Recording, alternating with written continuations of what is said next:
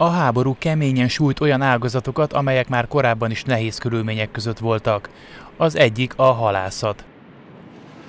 A hajó gázolajának ára az elmúlt hónapokban is emelkedett, de a háború kezdete óta az egekbe szökött. A halászok számára ez a helyzet katasztrófával ér fel.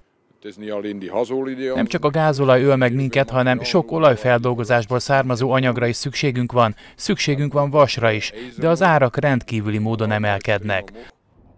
Míg az olyan országok, mint Franciaország már bejelentették, hogy sürgős segítséget nyújtanak üzemanyagvásárláshoz, a halászati ágazat sztrájkot hirdetett Spanyolországban és a legtöbb országban még mindig nincsenek érvényben új intézkedések.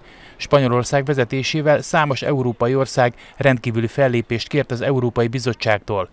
A halászati biztos azt mondja, gyorsan cselekedtek.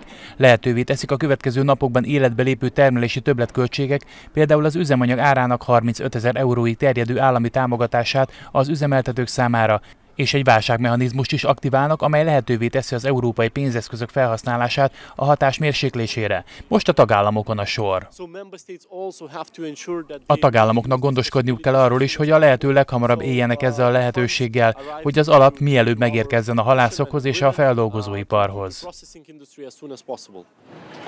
Az intézkedés néhány napon belül életbe lép, és visszamenőlegesen február 24-től lesznek érvényesek a rendelkezései.